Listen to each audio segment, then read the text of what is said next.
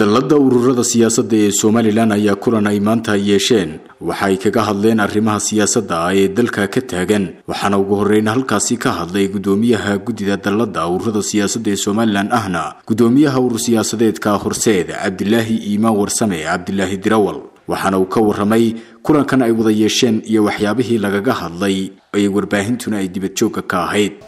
Shirkeygii labaatanaad baan halku qabsanay ee ururada siyaasadda waxyaabo badana arrimo badan oo dalka ka jirana waanu kaga hadalnay oo ugu muhiimsantahay xiisadan cusub ee iminka ay bilaabeen xisbiyada mucaaradkii ee ku saabsan arrimaha doorashooyinka. Runtii waxaan waxaan u aragnaa un arrinkan in murankan cusub ee iminka la bilaabay in cid gaara loogo loo jeedo loo dirayo. Waayo annagu dee mar horaanu kala baxno oo waabanu isku jireeyo sanad iyo badh baanu guddiga diiwaangelinta ka wada howlgelaynayo iyana wixii shuruudee looga baahnaa ay geynayeen. Annana wixii looga baahnaa aanu geynaynay.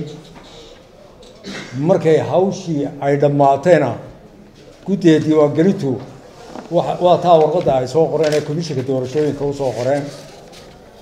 Ee ay saddex iyo tobanka iyagii ururba ay ku soo qoreen inay doorasho u diyaariyaan xafiiskoodana way taallaa. Haddii dadka dee taageerayaashoodii aana warhayn tanna waa tii markii lix iyo labaatankii december two thousand twenty twogii uu ka dhacay tobankoodii sana ay dhaceen. Waa tii guddiga diiwaangelinta u soo qortay ku wargelisay in uu dhacay waktigoodii xafiiskooday taallaa. Waana ogyihiin waktigooda inuu dhacay inay ururada iminka la howlgalayaanna waa ogyihiin sababta keentay iminka in muran cusub oo doorasho madaxweyne la bilaabo. Waxaan u aragnaa inay taageerayaashooda malaha ay wax kale u sheegeen iminkaana doonayaan inay ku qanciyaan inay dee wax raadinayaan oo wixii la waayeen ta labaad waxaa weeye arrinkan commissionka oo maxkamadda u diray.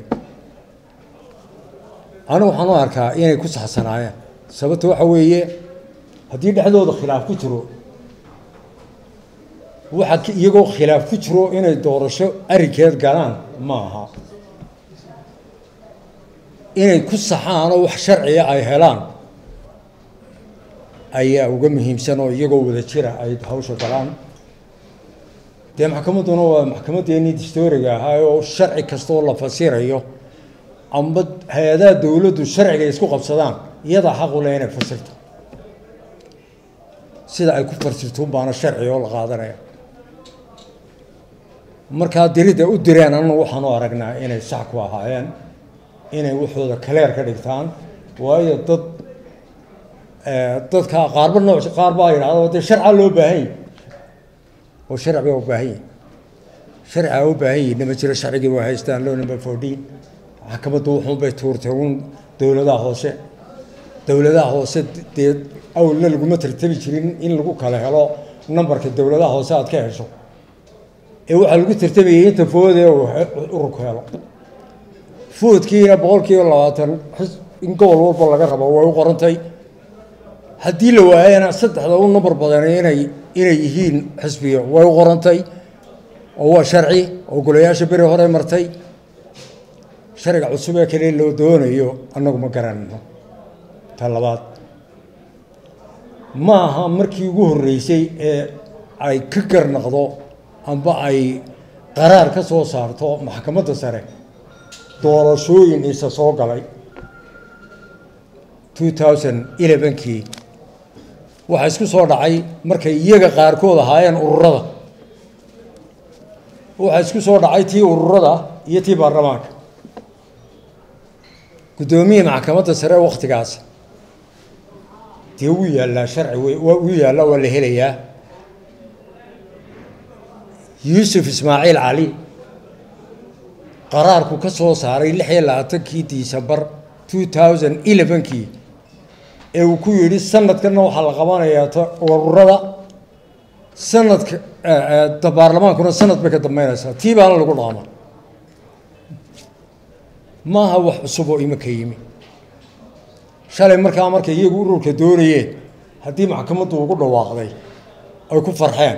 Dee sharcigu maalin walba kaaga qoslin maayo oo adiga gar ku siin maayo.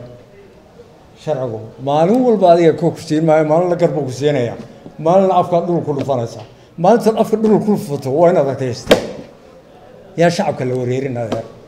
Shacabka waxaan u sheegaynaa adeer nimankan waktigoodii iyagaa cunay. Nin waloo madaxweyneha sideed sano toban sano ay fadhiisinayaan meeshay ku hayeen waktiganay diidayayaana idiin sheegayaan iyagaa cunay dee annagu kaayaga ogolaan mayna inay qaataan annagu waktigayaga dee u ogolaan mayna inay iyagoo koodii baabiye kaayagana ku ciyaaraan dee u ogolaan mayno dee xaq baan loo baahayay sharciga hay'adahan ay leeyihiin ma aqoonsanina waa kuwaynu inagu samaysanay ee shalay iyagu wax ku noqdeen ee tobanka jeer doorashada ku galeen hadday idhaahdaan maanta markaa maanta dantayadii buu ka leexdo ma doonayno. Dee in lagu raaco maahe waa in la tilmaamaa qofkuna wuxuu raacayo daafacayo waa inuu sharci ahaan iska hubiyaa. Marka waxaanu dadweynaha u sheegaynaa nimankaasi wax xuquuqa wax arrinkaa ay ku dacwoonayaan meel ay taallaa waa la soo dhaafay waktigeedii anigu ma karabshada wadaade waa kanle ka kacaydahayo waa la dhace anagu ka kacay cidna maanaa odhan cidna maanaa odhan waxba lagu sameeyey. Maxkamad hay'adaheenaa dowladdu waxay soo saaraan. Na waxba kama qabno. Waayo waxaan aad doonayso hadduu ilaahay kuu qorayna waad heli. Haddaanu kuu qorinna dee waa waa taa lagaa saaray bahasha lagaa soo